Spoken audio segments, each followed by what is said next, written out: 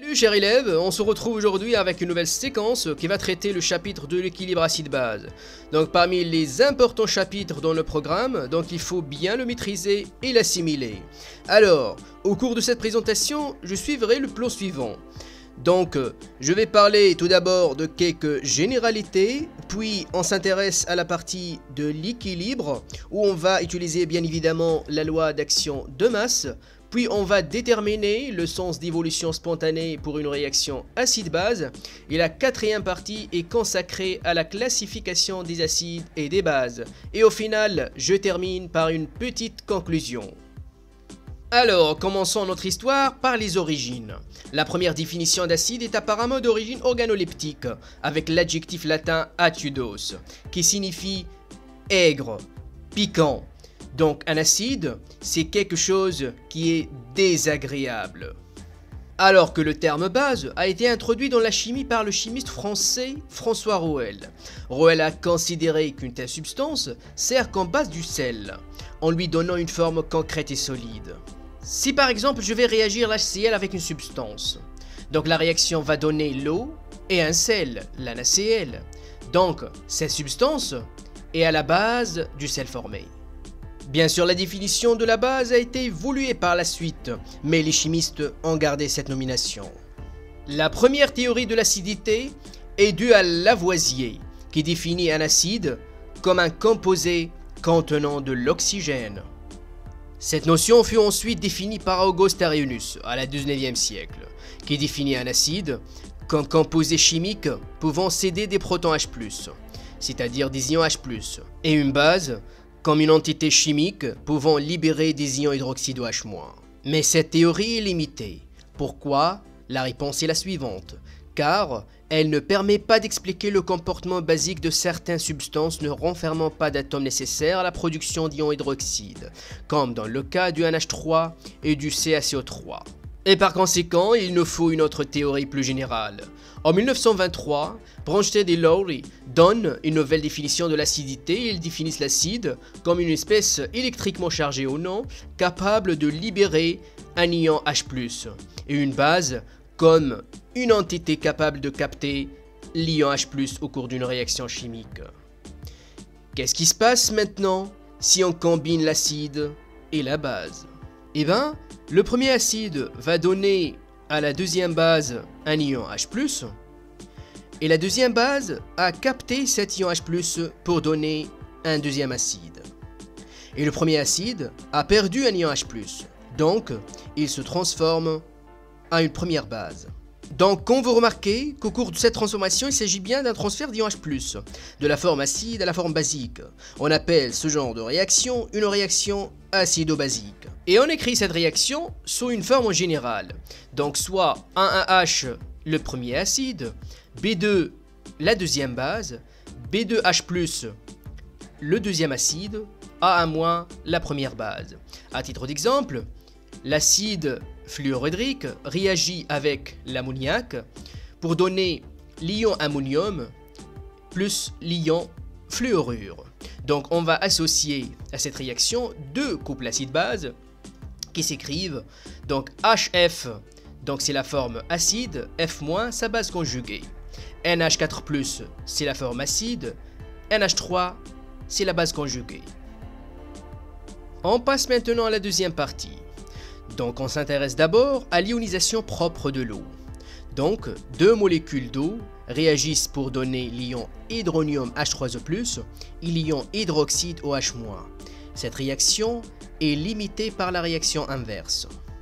La réaction d'ionisation propre de l'eau et la réaction inverse conduisent à un équilibre chimique. On va modéliser cet équilibre par une seule équation. Il s'agit bien d'une réaction acide-base dont les couples sont H3O+, H2O et H2O-OH-. Donc l'eau dans cette situation joue à la fois le rôle d'un acide et d'une base. On appelle ce genre d'entité une entité amphotère. On va appliquer maintenant la loi d'action de masse à cette réaction. On obtient la constante d'équilibre à 25 degrés Celsius.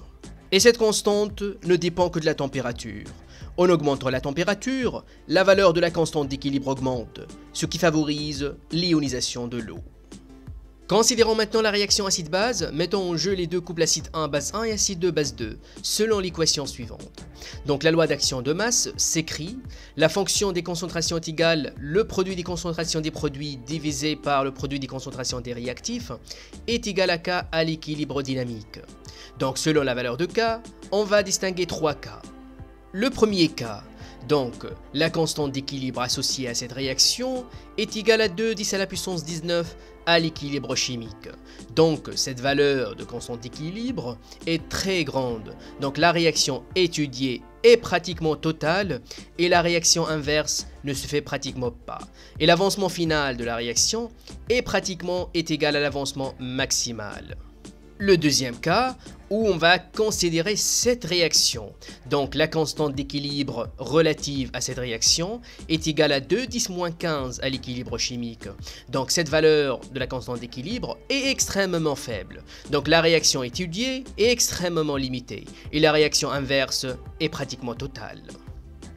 Troisième cas, où on va considérer la réaction suivante. Donc la constante d'équilibre K associée à l'équation est égale 3 10 5 à l'équilibre dynamique. Donc la valeur de la constante d'équilibre K est moyenne. Donc la réaction est moyennement limitée. Et l'avancement final XF de la réaction est moyen si on part de quantité équimolaire de réactifs. On récapitule. Donc on a une réaction acide-base généralisée et on a trois ordres de grandeur possibles de K. Donc K est faible ou K est moyenne K est grande. Donc si K est faible, la réaction directe est très limitée et la réaction inverse est pratiquement totale. Si K moyenne, la réaction est moyennement limitée. Et si K est grande, la réaction directe est pratiquement totale et la réaction inverse est très limitée. On passe maintenant au sens d'évolution spontanée. Donc c'est extrêmement simple.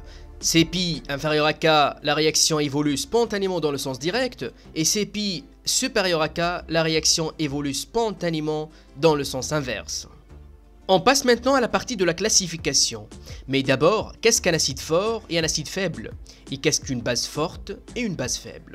On considère les deux réactions suivantes, d'ionisation de HCl dans l'eau et de l'acide éthanoïque. Dans le premier cas, TOF égale à 1, et dans l'autre cas, TOF inférieur à 1. Donc il en résulte que tout le chlorure d'hydrogène a réagi avec l'eau, alors cette réaction est totale, par conséquent HCl est un acide fort. Donc un acide fort est un acide qui est totalement dissocié dans l'eau. Et l'acide éthanoïque ne se dissout pas entièrement dans l'eau, alors cette réaction est limitée. Par conséquent, CH3COOH est un acide faible. De même, on considère les deux réactions d'ionisation des deux bases suivantes. Dans le premier cas, TOF est égal à 1, dans l'autre cas, TOF est inférieur à 1. Il en résulte que tout l'hydroxyde de sodium a réagi avec l'eau. Alors, cette réaction est totale, par conséquent, un est une base forte. Dans l'autre cas, l'ammoniac ne se dissout pas entièrement dans l'eau, alors cette réaction est limitée, par conséquent, un H3 est une base faible. Et maintenant, comment je peux comparer deux acides aux deux bases? Cette comparaison est possible soit par la valeur de leur pH à condition que les concentrations soient constantes, ou avec la constante d'équilibre, ou avec les constantes d'acidité pour les acides, ou celle de basicité pour les bases. On commence par la première, donc soit l'acide 1 a une valeur de pH égale à 1,5 et un acide 2 a une valeur de pH égale à 3. Donc, on remarque que pH 1 est inférieur à pH 2, donc on peut dire que l'acide 1 est plus fort que l'acide 2. Autrement dit, l'acide 1 libère plus de H3O+, que l'acide 2.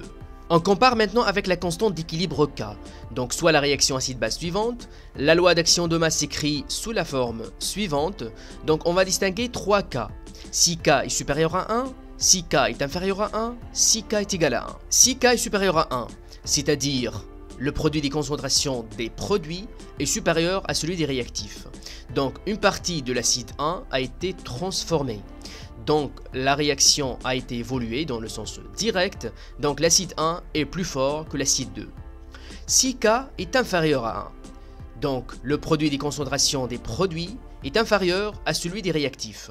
Dans ce cas, la réaction a été évoluée dans le sens inverse. Par conséquent, l'acide 2 est plus fort que l'acide 1.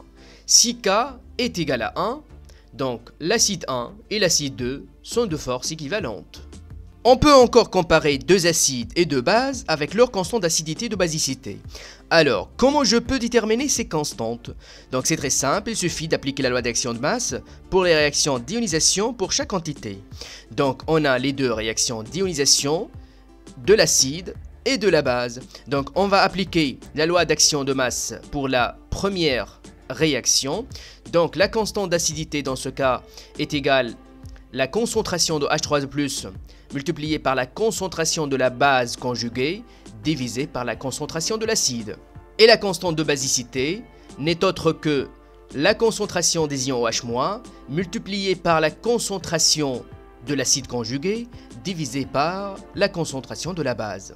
L'étude expérimentale montre que les ordres de grandeur obtenus pour ces constantes sont très variés.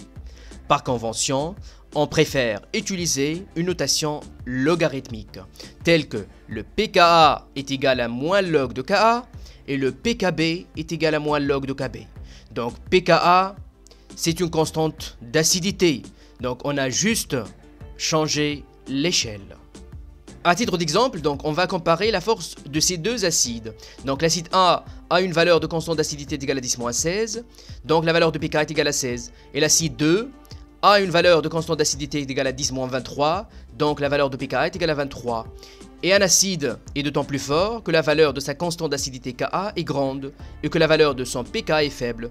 Donc l'acide 1 est plus fort que l'acide 2. Et pour les bases, on a une base de constante de basicité égale à 10-21, donc pKb est égal à 21. Et une deuxième base de Kb est égal à 10-24, donc pKb est égal à 24. Et une base est d'autant plus forte que la valeur de la constante de basicité Kb du couple auquel elle appartient est grande et que la valeur de son pKb est faible. Donc, la base B1 est plus forte que la base B2. Et pour terminer la comparaison, on va choisir un couple de référence pour comparer la force de tous les acides entre eux, soit donc le tableau suivant. Voici nos couples de référence, H3O plus H2O et H2OH-. Donc un acide fort est un acide plus fort que H3O+, et un acide faible est un acide plus fort que H2O et moins fort que H3O+, et un acide inerte est un acide nettement moins fort que H2O.